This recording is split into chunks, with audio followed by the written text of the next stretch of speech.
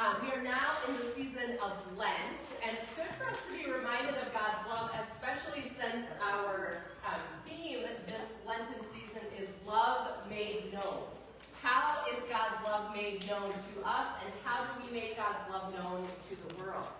And so um, there's lots of opportunities uh, during this next 40 days to engage in that theme and engage with God's Word and God's people. Um, we will be continuing our midweek uh, soup suppers and service. Soup supper is from 6 to 6.50, along with worship at 7 o'clock using Holden Evening Prayer. And we'll be focusing on prayer practices during uh, that service. Um, and using words like faithfulness, mercy, love, uh, to help kind of center us in that. And then on Sunday mornings, we'll continue the love made known um, as we, uh, today is the story of Queen Esther, and then next week we'll pivot into Jesus' birth and Jesus' ministry for the remainder of Lent. We also are uh, looking, I know it's kind of seems weird to be thinking February and thinking summer, but there's some informational meetings and planning meetings coming up in the next several weeks for things like summer Bible camp, um, garage sale, and uh, the Summer Fest uh, planning. So if you're interested in those things, please look for those announcements. There's also a group um, that will be starting uh, called the Mittens and Cards Club, or group for right now. But if you're interested, there's um, more details in the bulletin, and you can talk to uh, Lisa Brown or Carol Kirkhoff about details about that.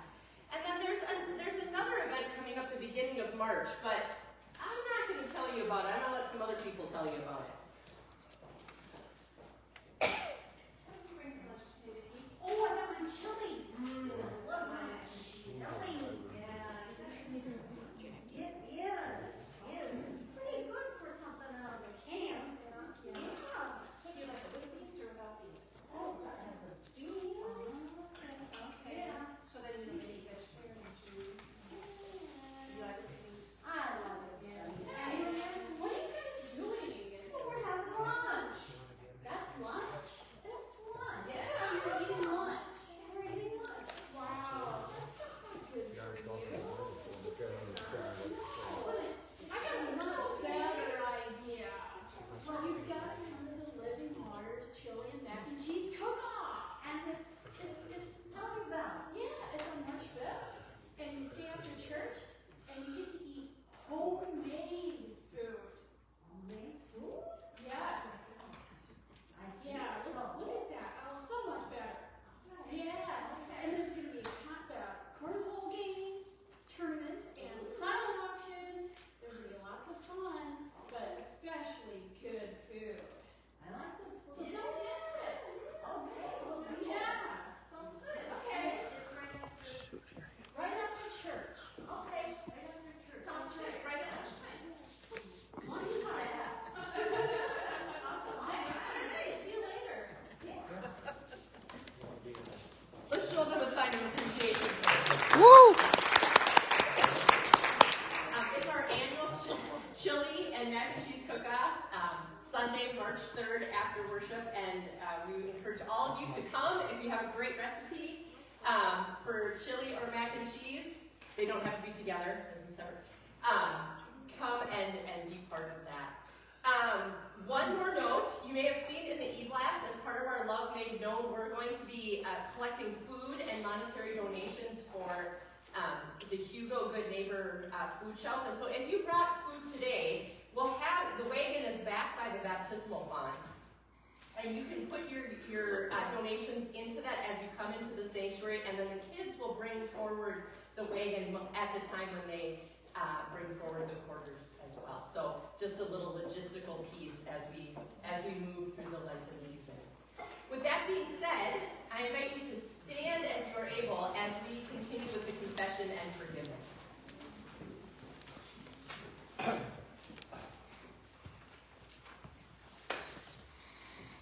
Blessed be the Holy Trinity, one God, who writes the law on our hearts, who draws all people together through Jesus. Amen. Amen. Held in God's mercy, let us confess our sin in the presence of God and of one another.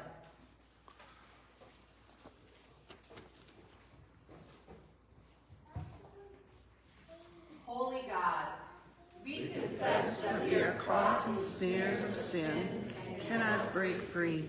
We hoard resources while our neighbors are hungry and cold. We speak in ways that silence others. We are silent when we should speak up. We keep score in our hearts. We let hurts grow into hatred. For all these things and for sins only you know, forgive us, Lord. Amen. Here is the flood of grace.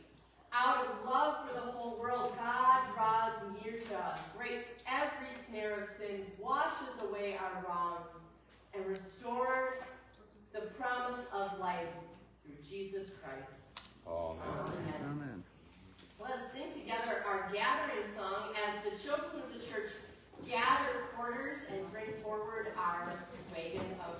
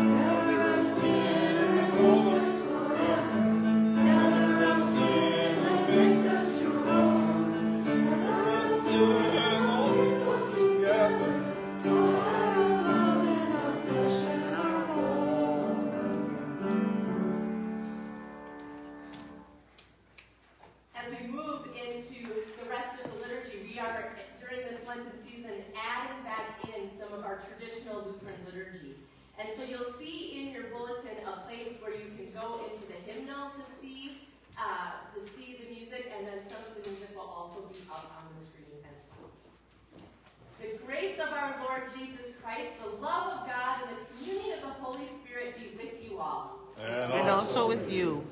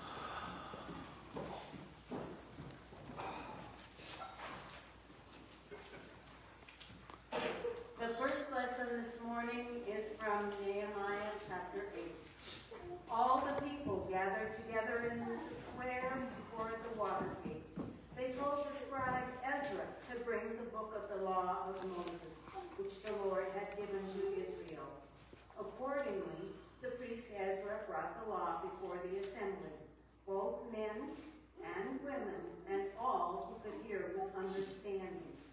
This was on the first day of the seventh month.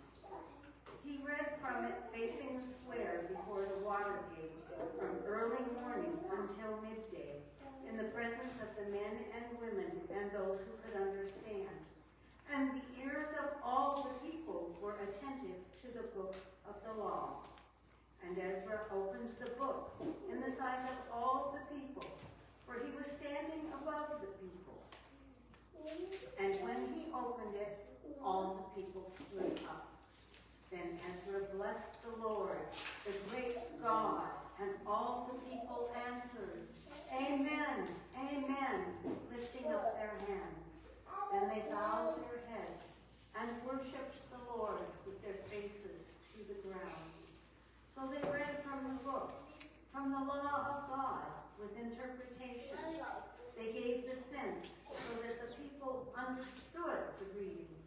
And Nehemiah, who was the governor, and Ezra the priest and scribe, and the Levites who taught the people, said to all the people, This day is holy to the Lord your God. Do not mourn or weep. For all the people wept when they heard the words of the law. Then he said to them, Go your way, eat the fat and drink sweet wine, and send portions of them to those for whom nothing is prepared.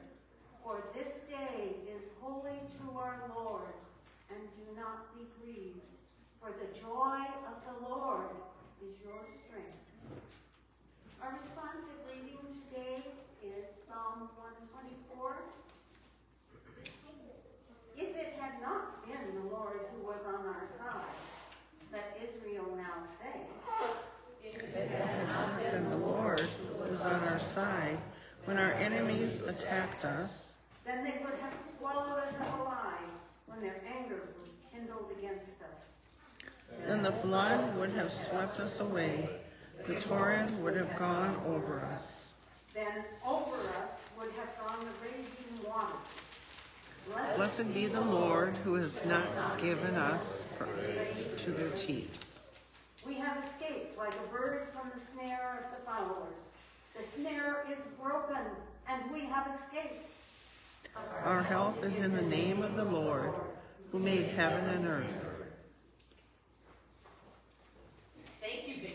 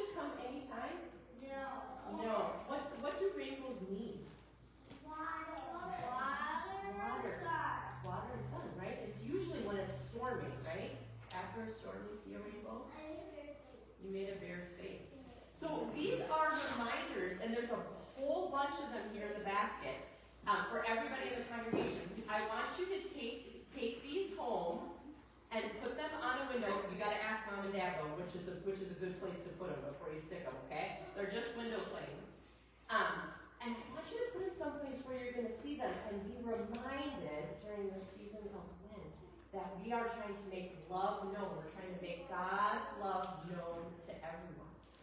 And so, kids, what I want you to do is I want you to take one for you, and I want you to take one for someone out in the congregation. You're going to hand it to them when they when you go back to your seats. Okay? Here's one for you, Henry. Do you have another one so you can hand out to someone else? Give that to someone else on your way back. Thanks for coming up. Oh. No, 131.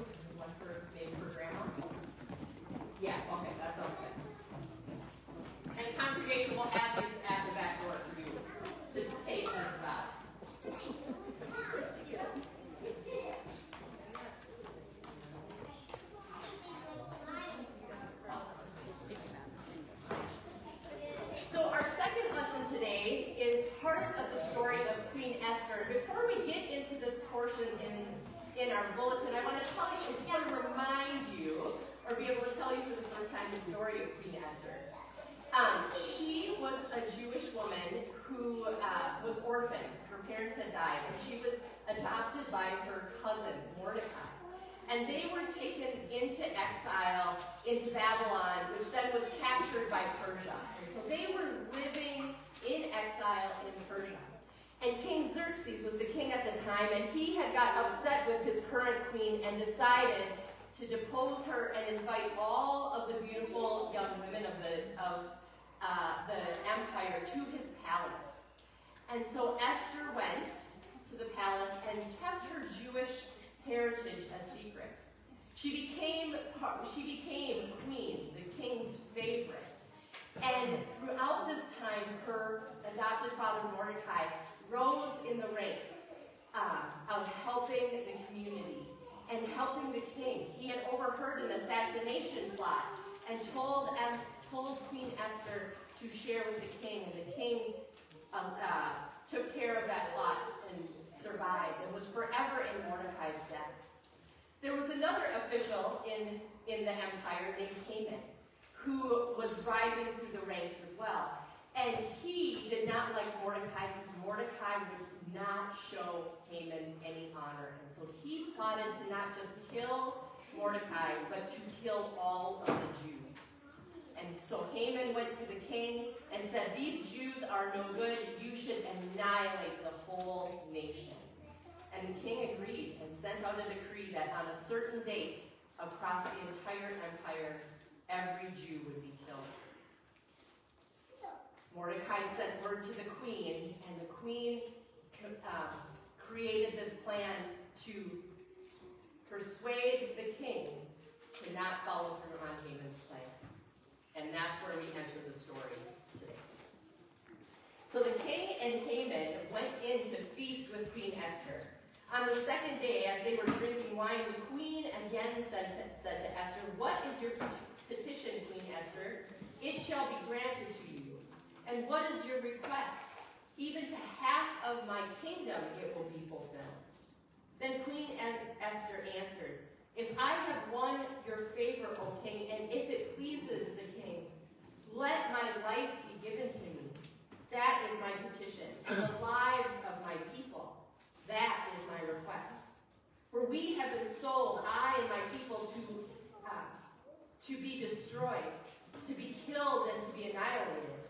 If we were, if we had been merely sold as slaves, men and women, I would have held my peace. But no enemy, no enemy can compensate for this damage to the king. Then King Xerxes said to Queen Esther, Who is he and where is he who has presumed to do this?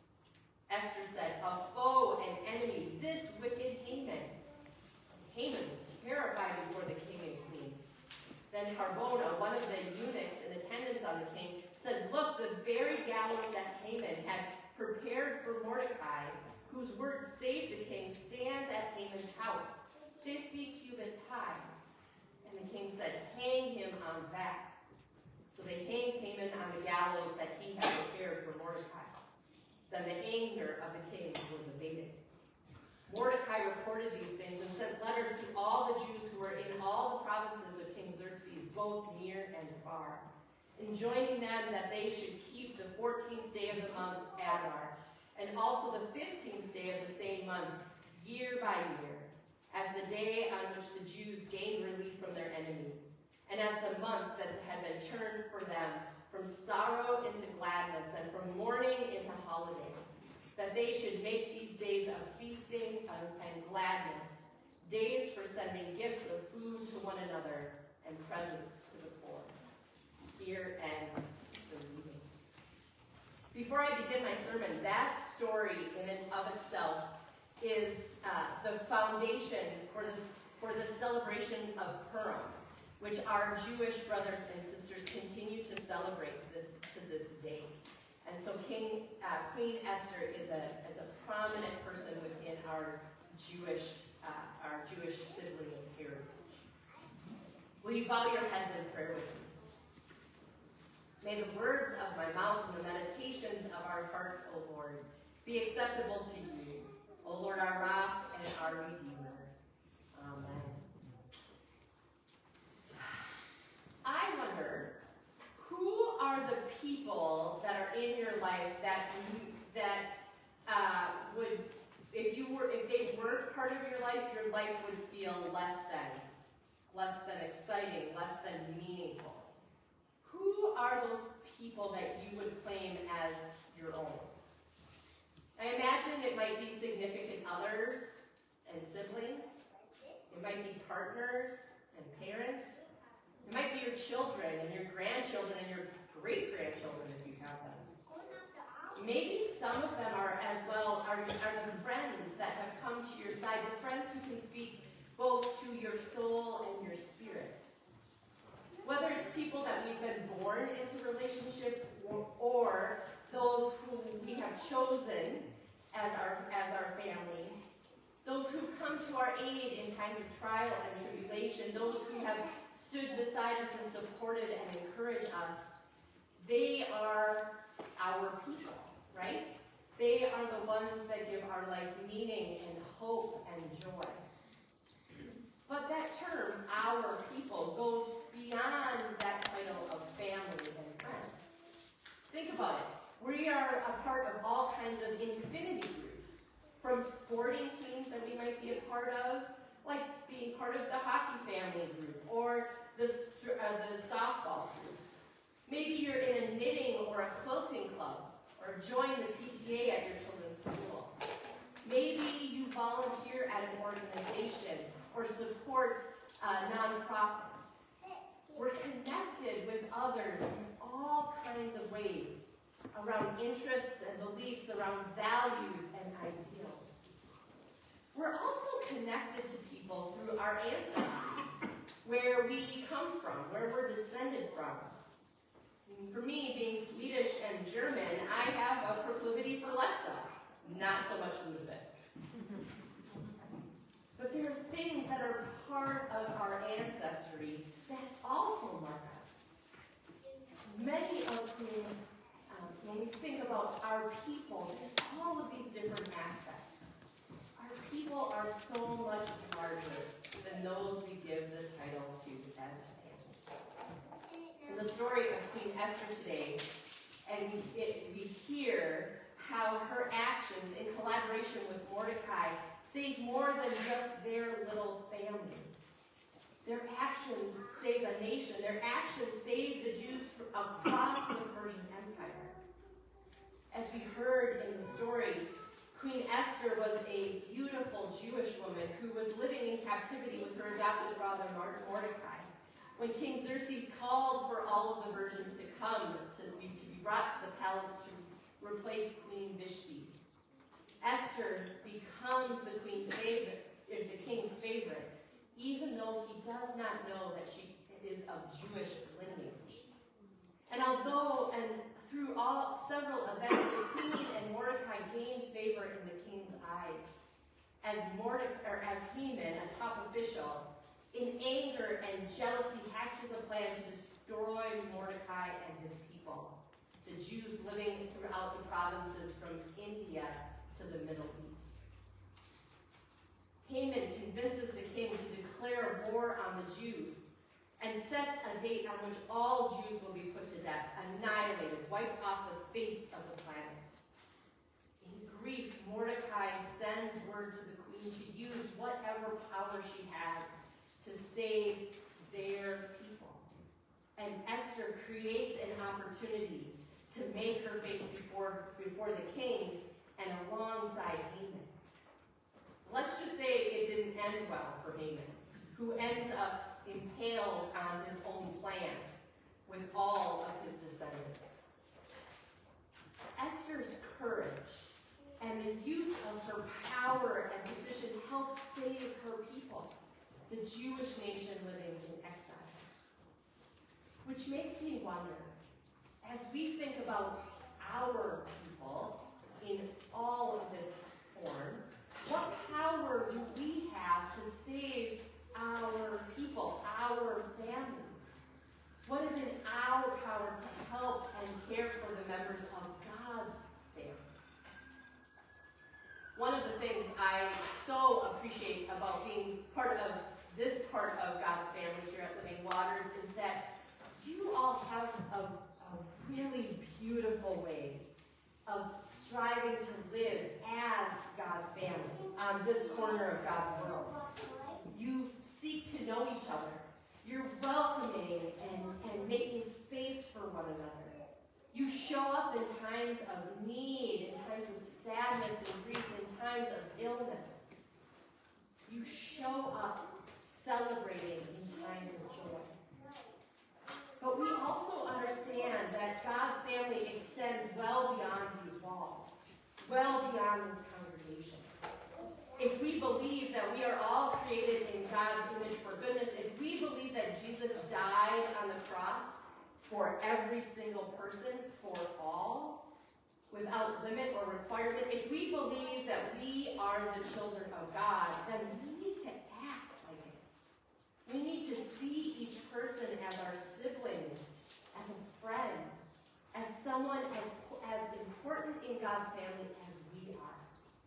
So that we are all God's people. Not because we deserve the help, not because uh, we're related through human blood, but because we are connected through the blood of the Lamb, through the blood of Christ shed on and through the cross. And as siblings in Christ, we're called to use our resources, to use our gifts, our powers, to bring life out of death for those around us, especially those who are in need. So as God's people, we're called to look out on the world and see our people. It is us connected. So our people include the widow and the orphan, like it says in the Old Testament and as Jesus looks up. Our people are also the immigrant and the infirmed. Our people are also those who are on the spectrum of sexual orientation and gender. Our people are those who have much and those who have little.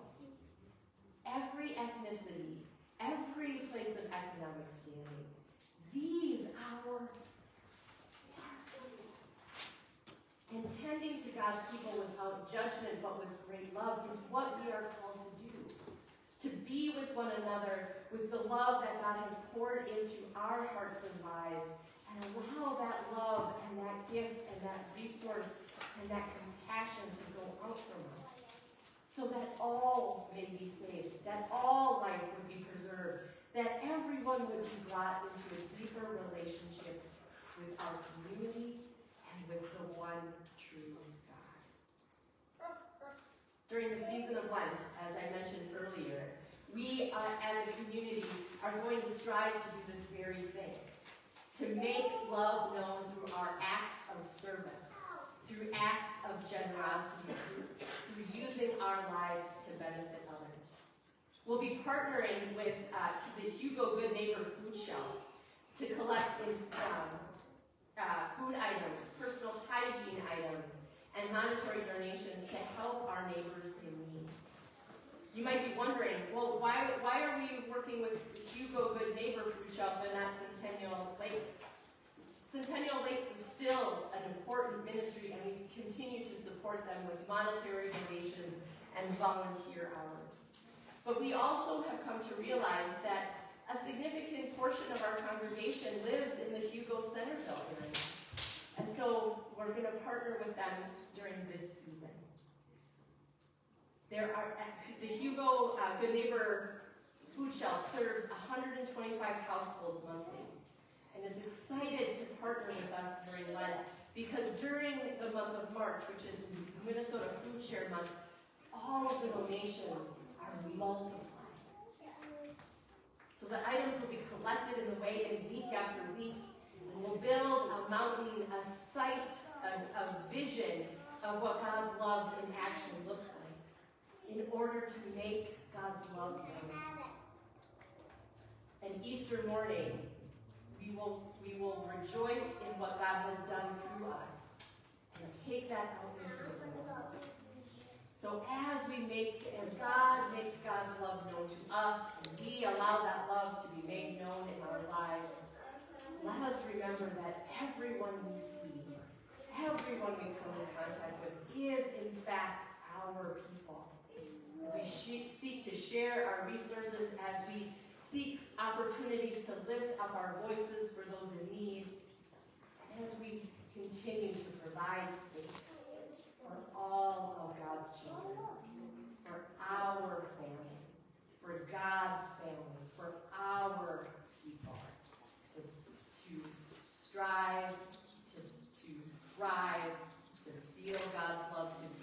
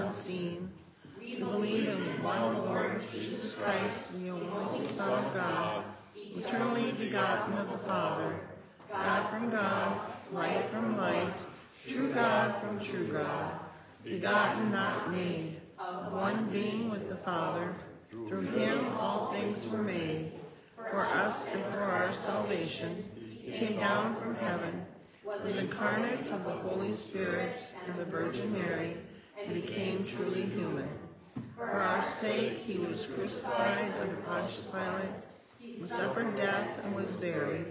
On the third day he rose again, in accordance with the Scriptures. He ascended into heaven and is seated at the right hand of the Father. He will come again in glory to judge the living and the dead, and his kingdom will have no end. We believe in the Holy Spirit, the Lord, the giver of life, who proceeds from the Father and the Son, who with the Father and the Son is worshipped and glorified, who has spoken through the prophets. We believe in one holy Catholic and apostolic church. We acknowledge one baptism for the forgiveness of sins. We look for the resurrection of the dead and the life of the world to come. Amen. As we come to our time of prayer, uh, we're changing up the end of each petition. We'll end each petition with, Lord, make your love known, and invite you to respond with, hear our prayer.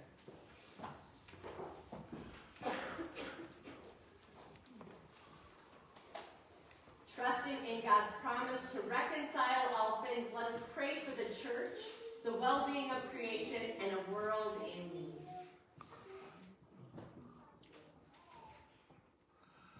God, our truth, the ark of your church has room for many expressions of faith.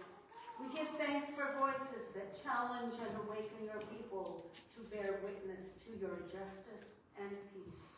Continue to embolden us to speak your truth and live out your mercy. Lord, make your love known. Hear our prayer.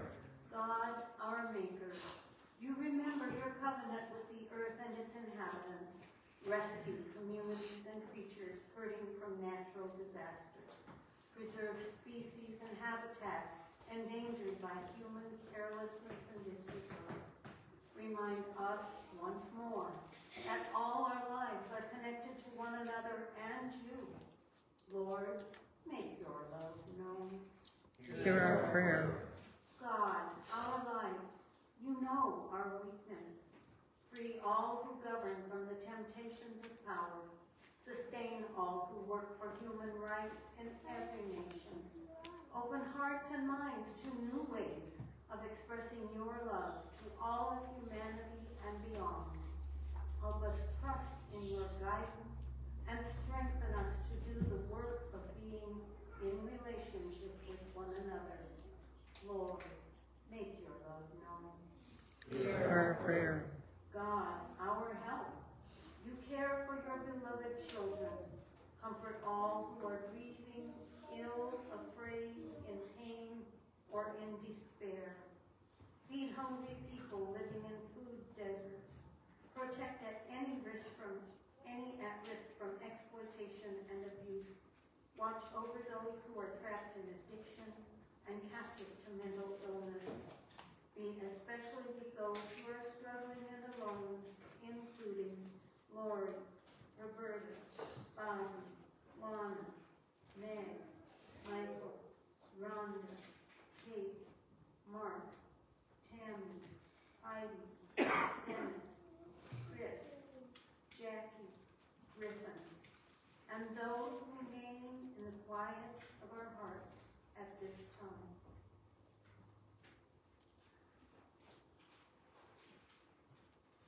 Lord, make your love known. Hear our prayer.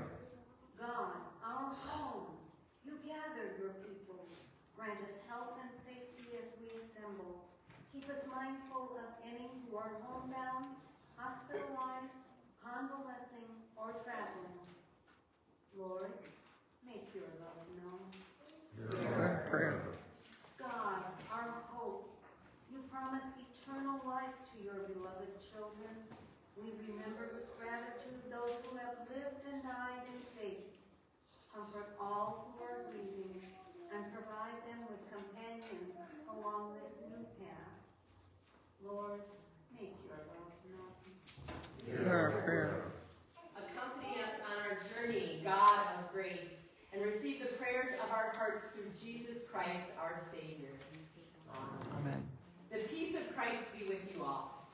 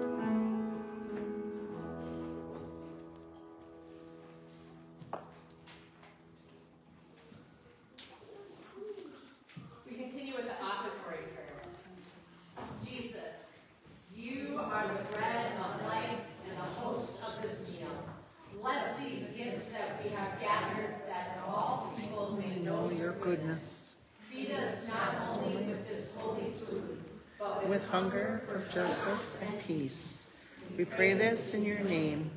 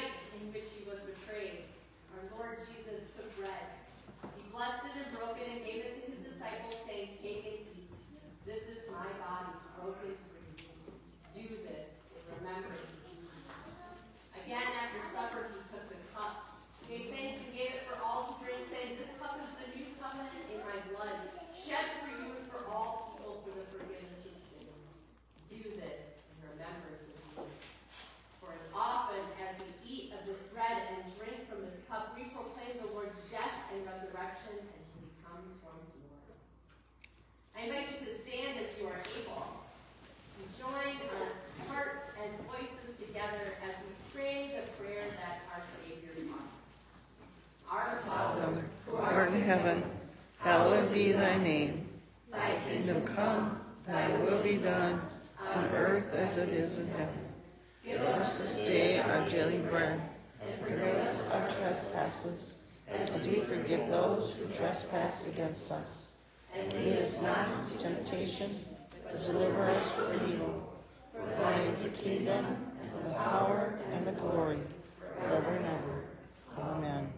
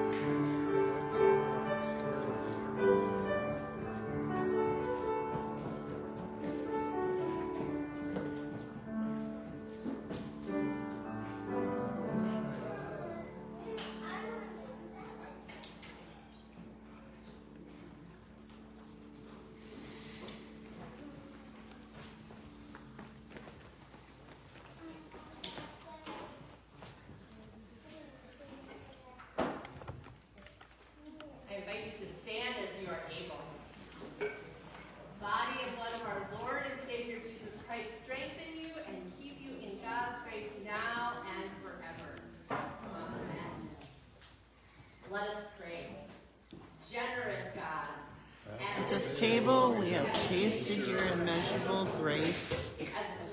as of wheat gathered into one bread. Now make us one loaf to feed the world. in the name of Jesus, bread of life. Amen. receive God's blessing. Beloved, we are God's own people, holy, washed, renewed. God bless you and keep you, shower you with mercy, fill you with courage, and give you. Amen. As we sing our sending song, I invite the children of the church to meet me back at the baptismal